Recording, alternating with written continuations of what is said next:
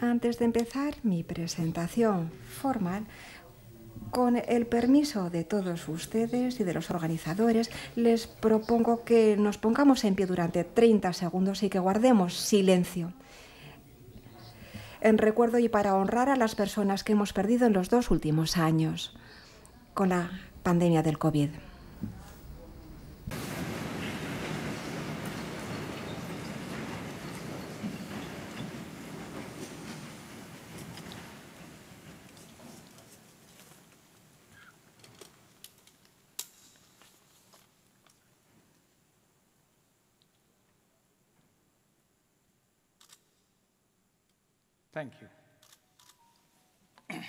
Gracias.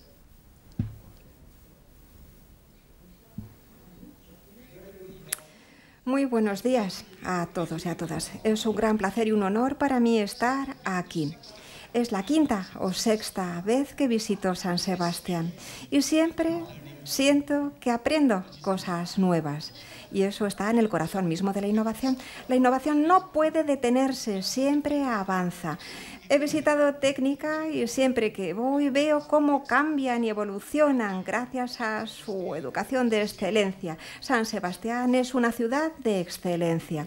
Me siento muy feliz de estar aquí. Estoy seguro de que, como yo, para muchos de ustedes esta es la primera conferencia o congreso presencial al que asisten. Ya ven, la magia. Al cabo de dos años, cuando vuelvo a ver a mis amigos y colegas y nos abrazamos, pues sentimos ese pulso de humanidad. Y creo que somos muy afortunados, muy afortunados porque muchas personas ya no tienen esa oportunidad por la devastación que ha sucedido. Tal vez estén de acuerdo conmigo a la hora de decir que compartimos algo. Vengamos de donde vengamos, de nuestro país grande o pequeño, en el ranking en el que estemos de PIB, todos compartimos un sentimiento de vulnerabilidad con respecto al presente y de incertidumbre con respecto al futuro. Y yo eso lo veo en todas partes, eh, desde los Estados Unidos hasta Europa, pasando por América Latina o llegando a África, en todas partes. Y de repente decimos, ¿esta es la vida que tenemos que vivir? ¿Es esto normal? Y entonces eso es lo que yo mismo me planteo. El COVID no es el primero ni será la última pandemia. Diferentes tipos de COVID vendrán porque vivimos en un mundo enormemente complejo. Y entonces pensaba, ¿y cómo tenemos que prepararnos en la EFTP con este desafío? Ahí tenemos también la transición climática, pero además en qué más tenemos que pensar, qué tenemos que hacer que no hayamos hecho antes para dejar de sufrir tanto. Voy a estar hablando de la resiliencia, una EFTP resiliente en un mundo volátil. Son tiempos de desafío. Yo hablo del mundo VUCA. ¿Qué quiere decir VUCA? VUCA son las siglas de V volátil y incierto, bueno, incierto, complejo y ambiguo. Está claro que la pandemia del COVID se ha presentado como una de las manifestaciones de ese mundo buca y la cuestión es, ¿qué podemos hacer para ser más ágiles y más resistentes en este mundo volátil. Primero tenemos que saber qué quiere decir ser resiliente. La resiliencia es una característica mental, la característica mental de un individuo que es capaz de recuperarse rápidamente de situaciones difíciles como pueden ser la adversidad, el trauma, las amenazas o fuentes importantes de estrés, pero se recuperan rápidamente se trata de tener, de desarrollar estas características. Automáticamente no nos convertimos en alguien resiliente. Tiene que haber eh, un método. Y nuestras instituciones de EFTP creo que no lo hemos tenido en cuenta. Muchas veces hablamos de tecnología, cambio climático, mercado laboral y todo eso es excelente, todo eso es necesario. Pero ¿dónde está la resiliencia? El mundo de repente se paró, ¿verdad? ¿Y qué consejo hemos dado? ¿Estábamos preparados para esa situación? Esa es mi pregunta. Y eso es la pregunta para la que busco una respuesta. ¿Por qué necesitamos ser resilientes en la actualidad? En estos tiempos turbulentos, complejos y disruptivos, el futuro de los jóvenes es incierto e impredecible. Los cambios son drásticos y en algunos casos incluso devastadores. Necesitamos ser ágiles, para podernos enfrentar a esta situación, para así poder sobrevivir y recuperarnos. La formación profesional tiene que prepararnos para tener competencias resilientes. El mundo buca, bueno, o en castellano bica, lo exige. Necesitamos saber cuáles son esas competencias de resiliencia. Y yo creo que hay tres esenciales. Primero, la resiliencia mental. La salud mental es esencial. Yo no sé cuántas instrucciones de FTP miden la salud mental, por ejemplo, y si lo tienen en cuenta en el plan de estudios. Después la resiliencia del aprendizaje, porque de repente todo se detuvo, ¿verdad? Ya dejamos de tener reuniones presenciales y clases presenciales, pero había que sobrevivir y seguir aprendiendo solos. Claro, eso es la resiliencia del aprendizaje. Y en tercer lugar, la resiliencia tecnológica.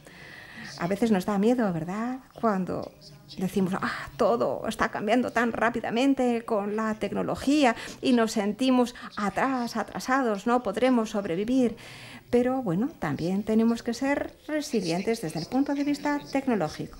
Hablemos ahora de la resiliencia mental. Y bueno, y estamos hablando de seis dominios, de seis ámbitos. En primer lugar, necesitamos tener una visión clara. Después, una buena compostura, serenidad. Hay gente que no sabe regular sus emociones y eso es muy importante. Necesitamos también ser capaces de tener recursos, ser capaces de identificarnos, planificar. Y algo también muy importante es la salud, por supuesto. Ayer Denis habló de ello, ¿verdad? La salud, la salud y el bienestar. Salud física y salud mental también son importantísimas. Además necesitamos tenacidad, paciencia. Necesitamos ser persistentes, tener un optimismo realista, capacidad de recuperarnos y también necesitamos la colaboración, por supuesto. Y eso tiene que ser algo esencial en las comunidades. Eh, estaba en India, en Calcuta, y la situación del COVID fue devastadora. Bien, por simplificar mi historia. Todo el mundo estaba tan deprimido, pero ¿quién nos inspiró en aquellos momentos? Pues la comunidad, de ahí vino la inspiración quienes estaban ahí pues preparando comida, verdura, gente de la comunidad que nos alimentaban porque claro, la cadena de suministro se detuvo. Ya, bueno, la disrupción lo invadió, todo fue increíble y por ello las redes de colaboración son tan importantes. Hablemos ahora de la resiliencia de aprendizaje. Los alumnos del futuro tendrán que ser autónomos y además aprender a lo largo de toda su vida, ¿verdad? Yo sé que aprendizaje sí, claro, pero ese aprendizaje online no alcanzó el mismo nivel, bueno, no estoy yo seguro de si alcanzó el mismo nivel de la enseñanza presencial. Por consiguiente, era importantísimo que los estudiantes supiesen autogestionarse y para ello necesitamos diferentes capacidades. Primero las interpersonales. Necesitamos ser disciplinados, necesitamos ser autónomos. También necesitamos, por supuesto, las capacidades interpersonales, ser capaces de trabajar en equipo. Capacidades cognitivas, ser capaces de pensar, resolver problemas y lo más importante de todo es que necesitamos la capacidad de aprender a aprender. No es importante solamente el contenido, claro, ya tenemos que saber cómo aprender, cómo abordar temas nuevos. Y esas son las capacidades de aprender a aprender. Cuando yo era joven nadie me habló de ello, nadie me explicó cómo leer un manual o cómo hacer una secuencia de programación. Nadie me lo contó, no, me hablaron mucho de diferentes temas y asignaturas, claro, pero es como, vale, alguien llega, da su charla, se acabó. Así era antes. Por eso para mí es mucha importancia esa capacidad de aprender a aprender. Resiliencia tecnológica. Estamos hablando de lo siguiente. Hoy en día estamos preparando a los alumnos para tecnologías que aún no se han inventado. Claro, la mayor parte de ustedes son formadores, profesores y seguro que están de acuerdo conmigo. Antes teníamos un libro de texto, ¿verdad? Bueno, teníamos una tecnología, un libro de texto y empezábamos a dar clases, pero hoy en día la tecnología, pues no sabemos eh, hacia dónde va y tenemos que preparar a nuestros alumnos. Es esencial, además, que los estudiantes se preparen para tecnologías que aún ni siquiera se han inventado. Y tenemos que acompañarlos. Sabemos que además el cambio va a ser muy, muy rápido. Además, tenemos que tener en cuenta esta transición, ¿verdad? Hablamos de ello ayer, estamos pasando de las tecnologías divergentes a las convergentes. Cada vez hay más disciplinas que convergen y eso es esencial.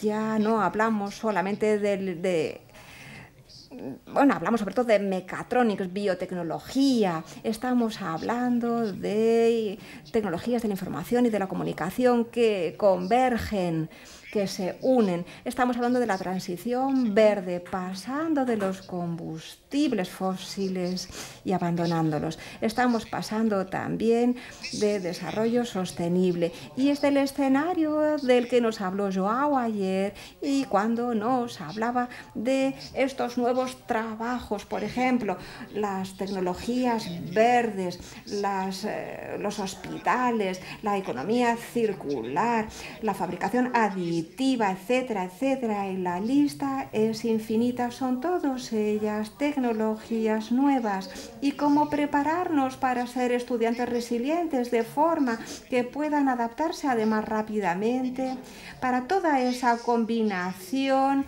de diferentes TS. Estamos hablando de competencias técnicas las esenciales para poder después incorporarnos al mundo del trabajo. Pero eso no basta, porque si solamente hablamos de esas competencias fundamentales, no estaremos preparando a los estudiantes para el mundo del futuro y por eso necesitamos también las GS, es decir, las competencias genéricas. Y, por ejemplo, aprender a aprender será una competencia esencial. La adaptabilidad y la flexibilidad, pero tampoco basta porque, claro, en estos tiempos tan cambiantes necesitamos tener una base, si uno no es bueno en matemáticas, arte, tecnología o matemáticas o ciencias, será muy difícil, ¿verdad?, adaptarnos y cambiar. Por consiguiente, necesitamos también esas competencias fundamentales, competencias genéricas y competencias técnicas. Las necesitamos las tres. Y por ello las fundamentales no las podemos olvidar. Claro, antes solamente hablábamos de, competencias manuales, ¿verdad? De la EFTEP pero hoy en día sabemos que nos hace falta muchísimo más. La tecnología es cada vez más compleja y necesitamos también esas competencias fundamentales, además de las otras. En estos términos disruptivos necesitamos un pilar de resiliencia, necesitamos innovación aplicada, necesitamos un vector de desarrollo para el crecimiento local y además innovación ascendente, bottom-up, que nos lleve a la excelencia de la que tanto hemos hablado desde ayer.